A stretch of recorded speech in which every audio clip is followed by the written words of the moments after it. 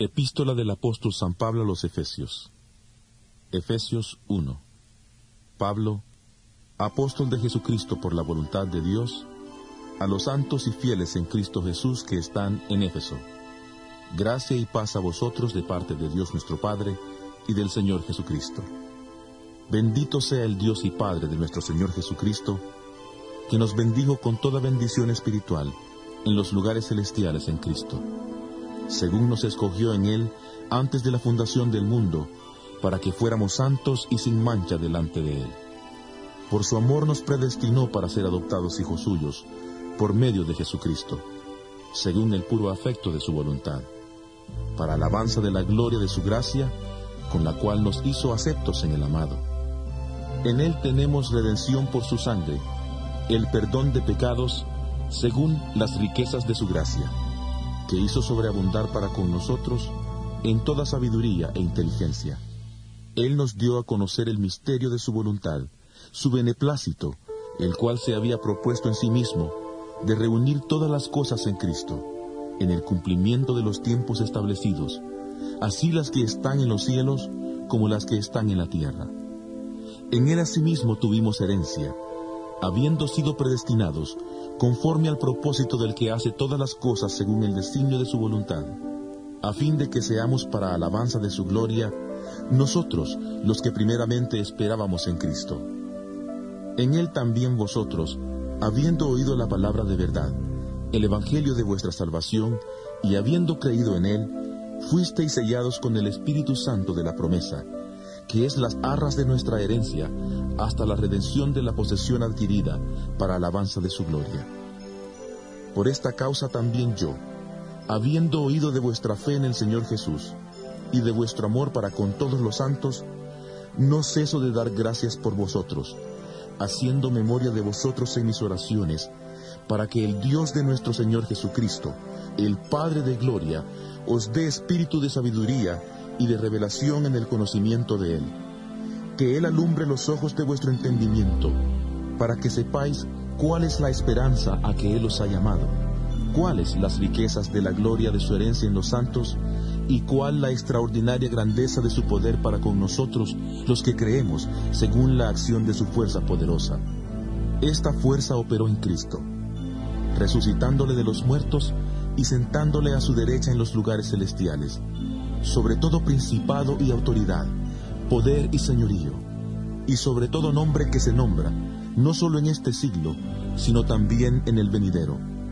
Y sometió todas las cosas debajo de sus pies, y lo dio por cabeza sobre todas las cosas a la iglesia, la cual es su cuerpo, la plenitud de aquel que todo lo llena en todo.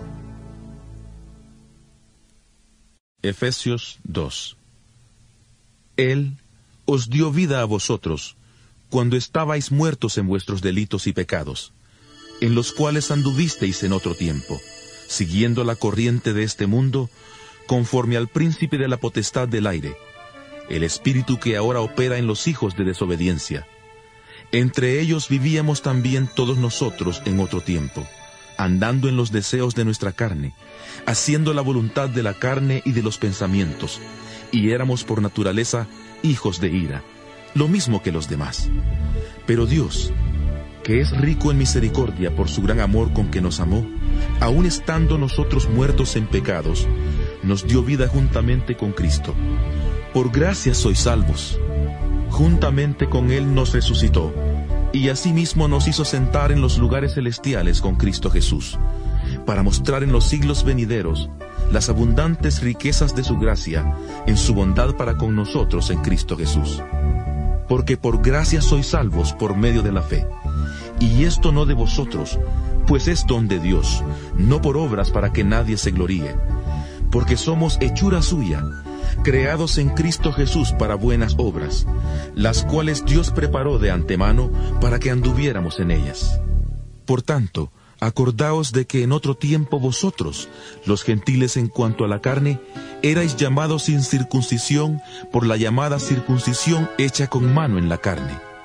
En aquel tiempo estabais sin Cristo, alejados de la ciudadanía de Israel, y ajenos a los pactos de la promesa, sin esperanza y sin Dios en el mundo. Pero ahora en Cristo Jesús, vosotros que en otro tiempo estabais lejos, habéis sido hechos cercanos por la sangre de Cristo. Porque Él es nuestra paz, que de ambos pueblos hizo uno, derribando la pared intermedia de separación, aboliendo en su carne las enemistades, la ley de los mandamientos expresados en ordenanzas, para crear en sí mismo de los dos un solo y nuevo hombre, haciendo la paz y mediante la cruz reconciliar con Dios a ambos en un solo cuerpo, matando en ella las enemistades.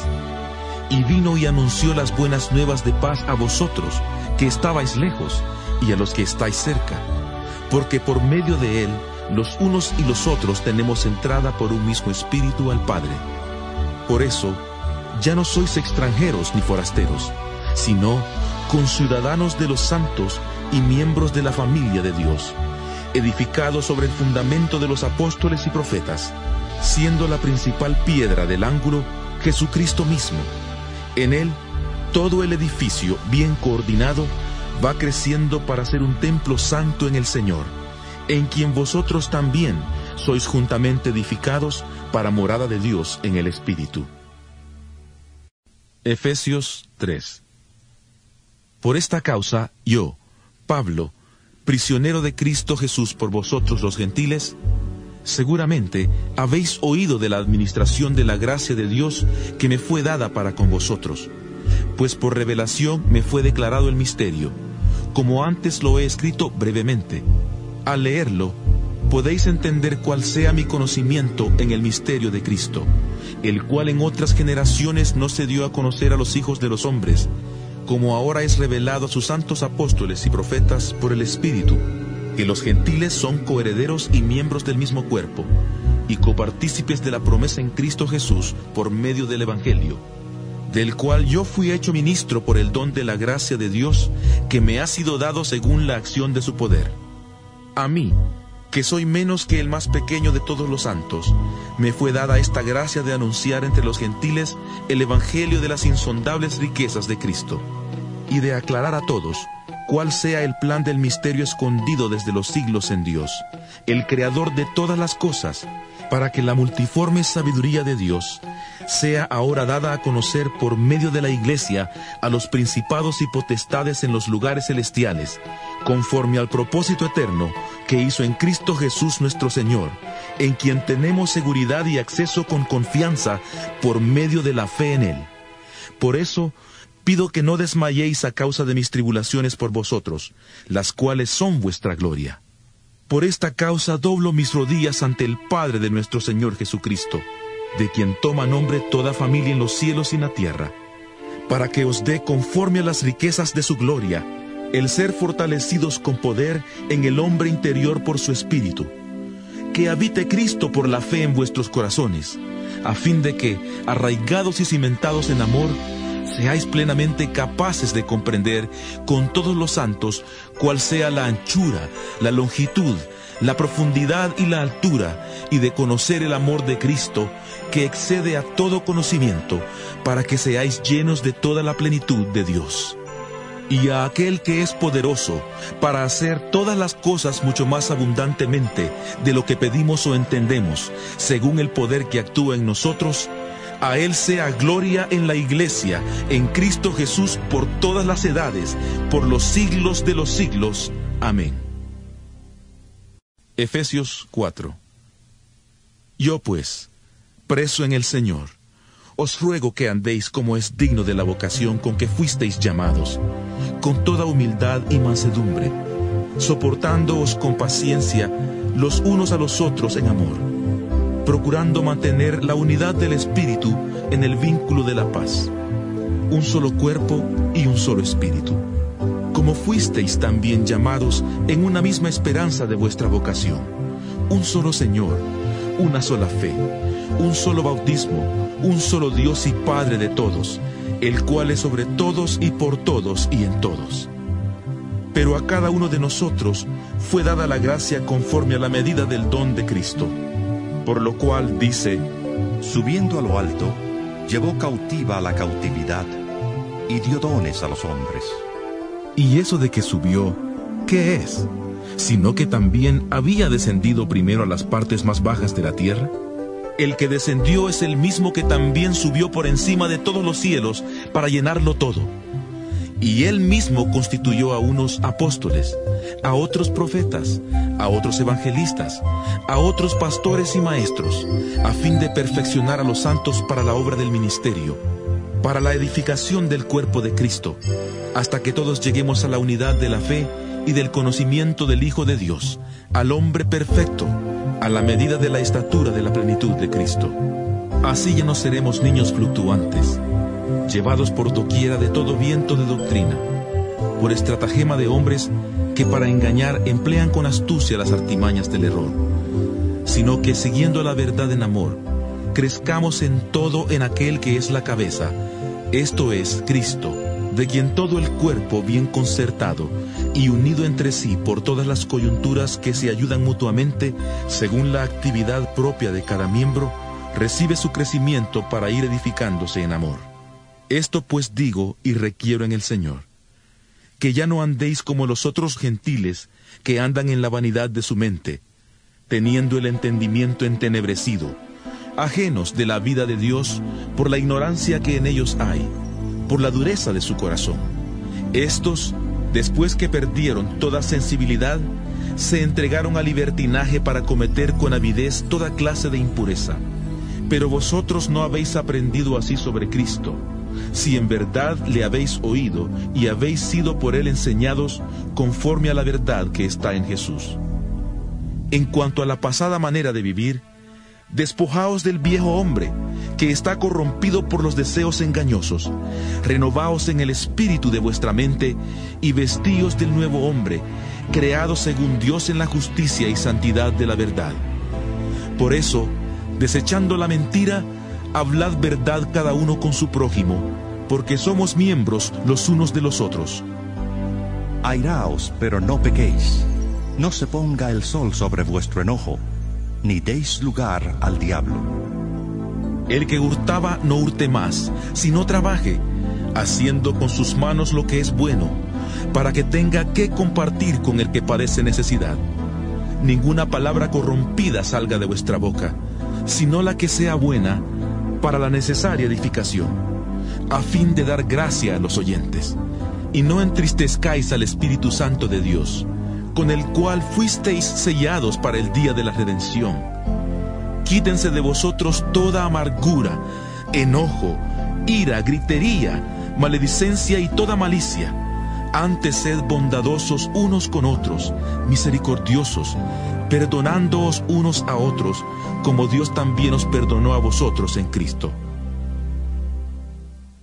Efesios 5 Sed pues imitadores de Dios como hijos amados, y andad en amor, como también Cristo nos amó, y se entregó a sí mismo por nosotros, ofrenda y sacrificio a Dios en olor fragante.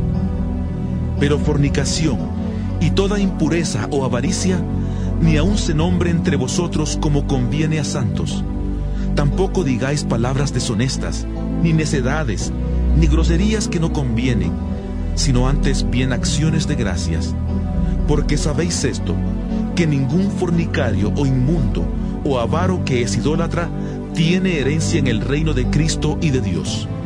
Nadie os engañe con palabras vanas, porque por estas cosas viene la ira de Dios sobre los hijos de desobediencia.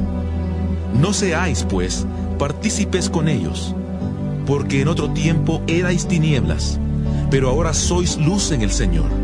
Andad como hijos de luz porque el fruto del Espíritu es en toda bondad, justicia y verdad, comprobando lo que es agradable al Señor.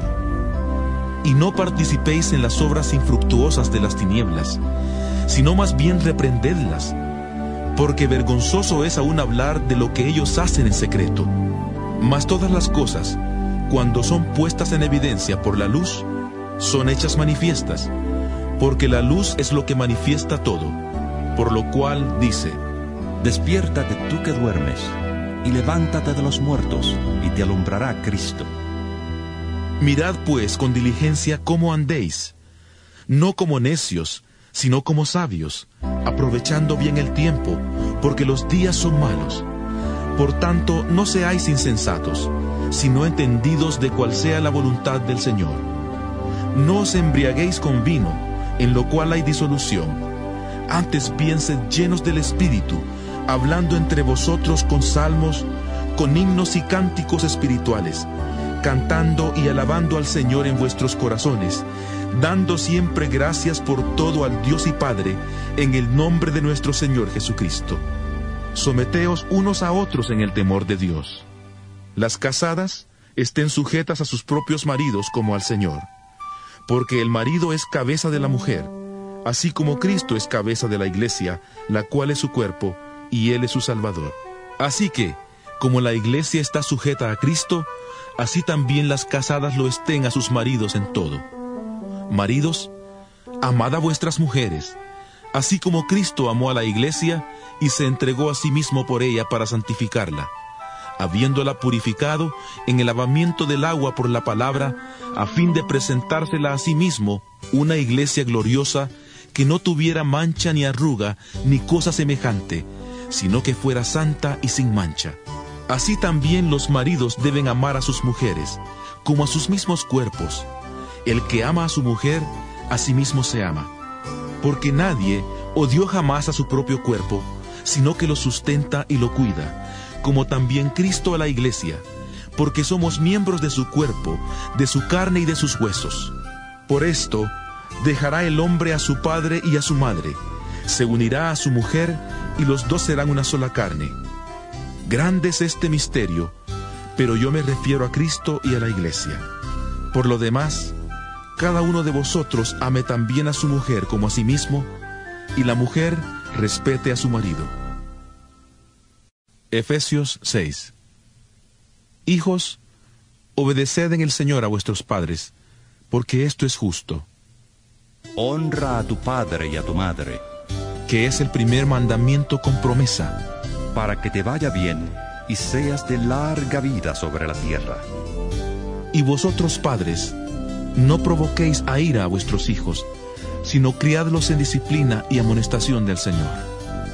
Esclavos, obedeced a vuestros amos terrenales con temor y temblor, con sencillez de vuestro corazón como a Cristo, no sirviendo al ojo como los que quieren agradar a los hombres, sino como siervos de Cristo, de corazón, haciendo la voluntad de Dios.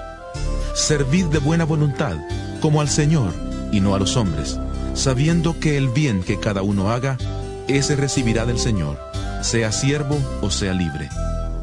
Y vosotros, amos, haced con ellos lo mismo, dejando las amenazas, sabiendo que el Señor de ellos y vuestro está en los cielos, y que para Él no hay acepción de personas. Por lo demás, hermanos míos, fortaleceos en el Señor y en su fuerza poderosa.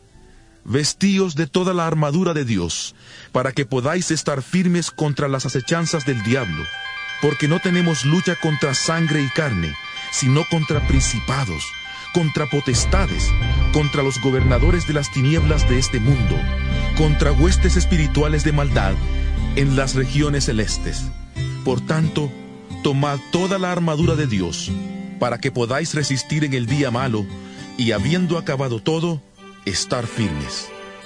Estad pues firmes, ceñida vuestra cintura con la verdad, vestidos con la coraza de justicia, y calzados los pies con el celo por anunciar el Evangelio de la paz. Sobre todo, tomad el escudo de la fe, con que podáis apagar todos los dardos de fuego del maligno, y tomad el yelmo de la salvación, y la espada del Espíritu, que es la palabra de Dios.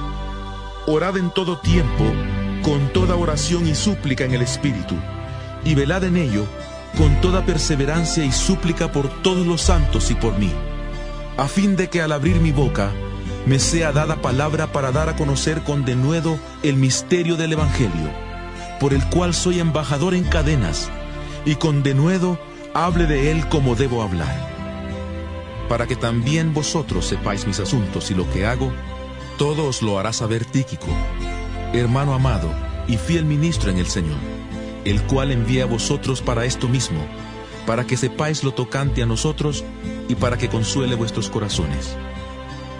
Pase a los hermanos y amor con fe de Dios Padre y del Señor Jesucristo.